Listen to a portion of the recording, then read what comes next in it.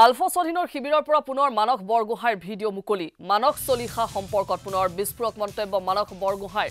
নিজৰ কাম আদায় কৰিবলৈ যুৱতীৰ জৰিয়তে কিছু লোকক ব্লেকমেইলিং কৰিছিল মানস চলিহাই চুপাৰী কয়লা আৰু অবৈধ বিদেশী চিগাৰেটৰ চিণ্ডিকেটৰে জড়িত মানস চলিহা এগৰাকী আৰক্ষীৰ শীৰ্ষ বিষয়াৰ নিৰ্দেশ আৰু সহযোগিতাত চিণ্ডিকেট চলায় মানস চলিহাই অবৈধ চুপাৰীৰ গাড়ী পাৰ হোৱাৰ পথ নিৰ্ধাৰণ কৰে মানস চলিহা আৰু তেওঁৰ সহযোগীয়ে। নিজেই এই চিণ্ডিকেটত মানস চলিহাৰ নিৰ্দেশত কাম কৰাৰ কথা স্বীকাৰ কৰিছে মানস বৰগোহাঁয়ে শীৰ্ষ আৰক্ষী বিষয়াৰ ছত্ৰছায়াত মেৰাপানীত অবৈধ বিদেশী চিগাৰেটৰ বজাৰ নিয়ন্ত্ৰণ কৰে মানস চলিহাই। ডিব্ৰুগড়ৰ মণ্টু বুলি চিনাকি দি মানস বৰগোহাঁয়ে কৰিছিল চিণ্ডিকেটৰ কাম। জনৈক নজৰুল নামৰ এজন ব্যক্তিৰ কথাও ভিডিঅ'টোত উল্লেখ কৰিছে মানস বৰগোহাঁয়ে। আমি যেতিয়া স্পেচিয়েল ব্ৰাঞ্চৰ আণ্ডাৰ কভাৰ হিচাপে কাম কৰি আছিলোঁ সেই মুহূৰ্তত কৰা কেইটামান কামৰ তথ্য আপোনালোকক দিবলৈ ওলাইছোঁ। কেইটামান কামৰ বিষয়ে ক'বলৈ গ'লে প্ৰথমে ক'ব লাগিব ছোৱালীৰ কথা। কেনেধৰণে মানস চলিহাই বেলেগক ব্লেকমেইলিং কৰে?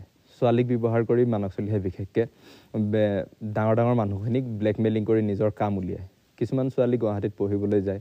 তেনেকুৱা ছোৱালীৰ কিছুমান একে মানে আৰ্থিক অসুবিধা থাকে। সেই তেনেকুৱা ছোৱালীবোৰক বিশেষকৈ বিচাৰি উলিয়াই সেই ছোৱালীবোৰৰ কোনোবা এজন ব্যক্তিৰ লগত নৈশ যাপন কৰিবলৈ দিয়ে আৰু সেই ছোৱালীজনীৰ লগত স্পাই কেম্প দি পঠিয়ায় যাতে সেই সকলোবোৰ তথ্য মানস চলিহাই ৰাখি সেই ব্যক্তিজনক ব্লেকমেইলিং কৰিব পাৰে। এই কথা অসমবাসী ৰাইজে নাজানে।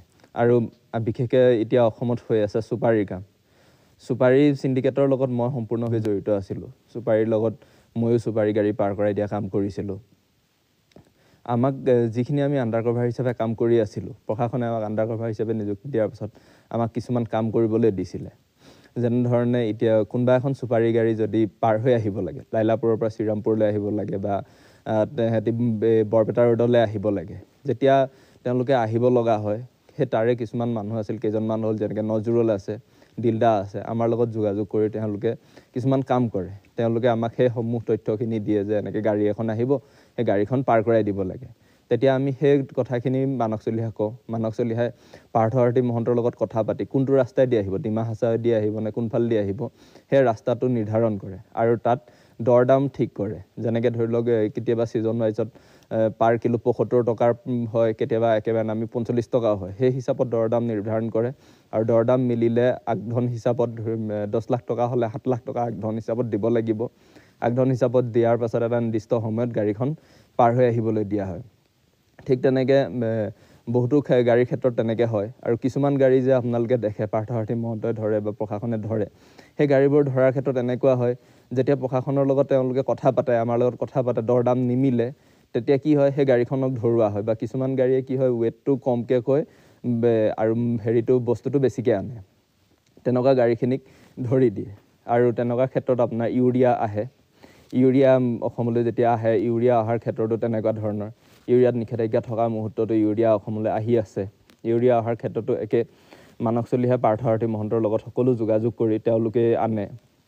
আৰু ইয়াৰ পৰা যি এফ চি আই চাউল হয় এফ চি আই চাউল বাহিৰলৈ পঠিওৱাৰ ক্ষেত্ৰত কোন মুহূৰ্তত পঠিয়াব কেনেকৈ পঠিয়াব কেনেকৈ যাব এই ক্ষেত্ৰতো নজৰুল আৰু পাৰ্থসাৰথী মহন্ত আৰু মানস চলিহাত বিশেষভাৱে জড়িত আছে। তেওঁলোকে কোন ৰাস্তাৰে যাব কেনেকৈ যাব কোনফালে যাব কাৰ ওচৰলৈ যাব সকলোখিনি তেওঁলোকে নিৰ্ধাৰণ কৰে।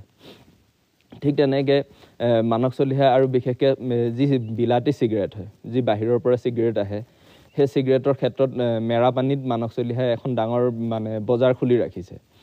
হয়তো সমূহ অসমবাসী ৰাইজে নাজানে মেৰাপানীবাসী ৰাইজে জানে মেৰাপানীত এখন ডাঙৰ চিগাৰেটৰ বজাৰ খুলি থোৱা হৈছে। চিগাৰেটৰ বজাৰখনত বিলাতী চিগাৰেট তাত উপলব্ধ হয়। মানে গাড়ীয়ে গাড়ীয়ে বিলাতী চিগাৰেট তাত সোমোৱাই আৰু সেই চিগাৰেটখিনি সোমোৱাৰ লগে লগে কি হয় কিছুমান গাড়ীৰ ক্ষেত্ৰত মই যেতিয়া আহিছিলোঁ আগষ্ট ছেপ্টেম্বৰ অক্টোবৰ সেই মাহত প্ৰায় মাহটোত ত্ৰিছখন চল্লিছখন গাড়ী তেনেকৈ সোমায়। আৰু লাষ্ট মুহূৰ্তত মই অহাৰ আগে আগে তিনিখন গাড়ী সোমাইছে।